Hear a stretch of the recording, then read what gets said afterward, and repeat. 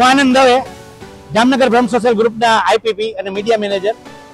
આજ રોજ સતત સોળમા વર્ષે ઓપન સૌરાષ્ટ્ર એટલે કે મોદક આરોગવાની સ્પર્ધા એટલે કે લાડુ ખાવાની સ્પર્ધાનું આયોજન અમોએ આજ રોજ ગિરિનારાયણ જ્ઞાતિની વાડીની અંદર કરવામાં આવ્યું હતું.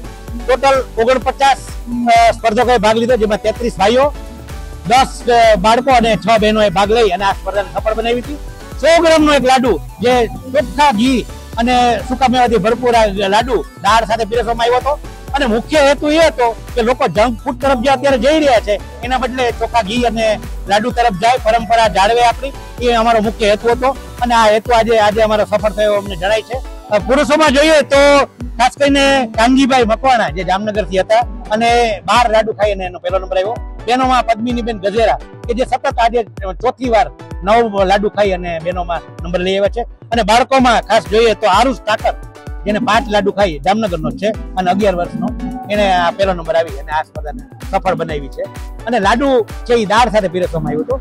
અને અમારે આ સ્પર્ધાને સફળ બનાવવા અમારા બધા સદસ્યોએ સાથ સહકાર આપ્યો. મારું નામ નાનજી અમીરભાઈ મકવાણા.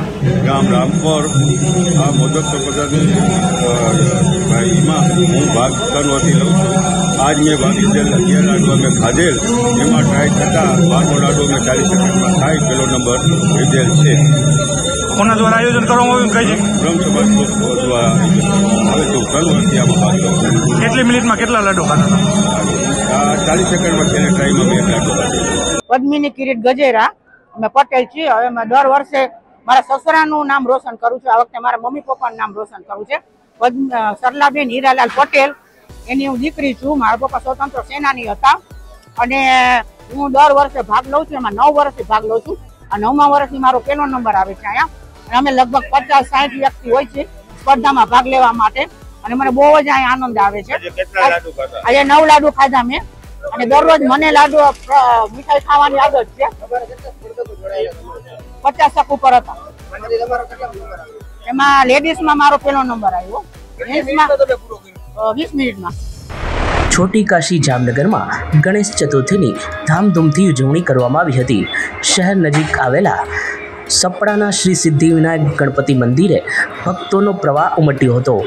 ગત રાતથી જ પદયાત્રિકોનો પ્રવાહ સપડા તરફ જોવા મળ્યો હતો.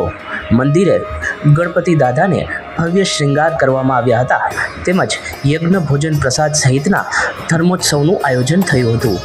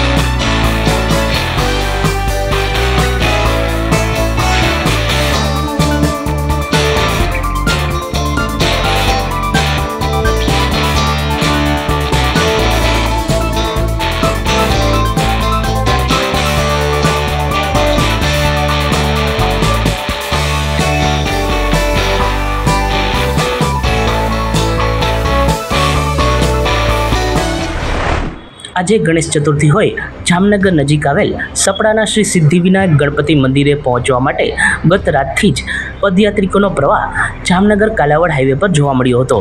દરમિયાન એક બેકાબુ રિક્ષાએ અમુક પદયાત્રિકો અને એક ટુ વ્હીલરને હડફેટે લેતા કુલ સાત વ્યક્તિ ઈજાગ્રસ્ત થઈ હતી. ટોળાનો ગુસ્સો પણ રિક્ષા ચાલક ઉપર ફૂટી નીકળ્યો હતો.